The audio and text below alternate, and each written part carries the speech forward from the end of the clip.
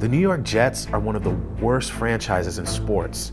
Their fans have suffered endless heartbreak and humiliation. But for some reason, they just keep showing up and betting on their team. And I'm the guy that takes those bets.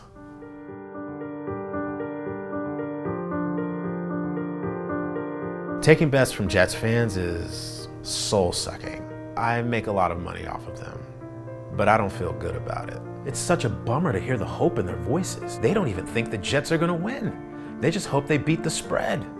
They never do. I'll have a guy place a bet and ask me straight up, do you think Christian Hackenberg is the future of the franchise? I don't know how to answer that question. It's really sad what these fans have been driven to. Plus I gotta watch all the Jets games. You think I enjoy that? I don't. I bet you thought the butt fumble was pretty funny, right?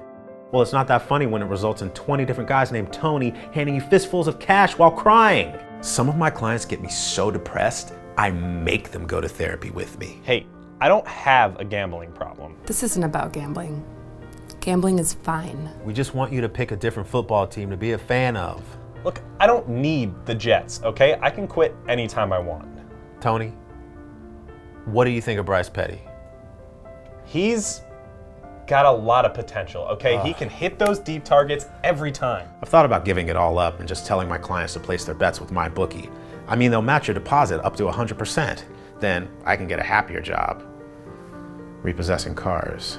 Not all my clients are Jets fans, obviously. Some of them are Mets fans. That's not really better. I know I'm complaining a lot. I just feel so terrible for these fans. At least I don't have it that bad. I'm a 49ers fan, and this year, we're going all the way, baby. Hello? You want to put $50 on the Jets to win more than six games this season? Are you sure? You've been hurt before. Okay, I'll do it. It's Fireman Ed. Ugh.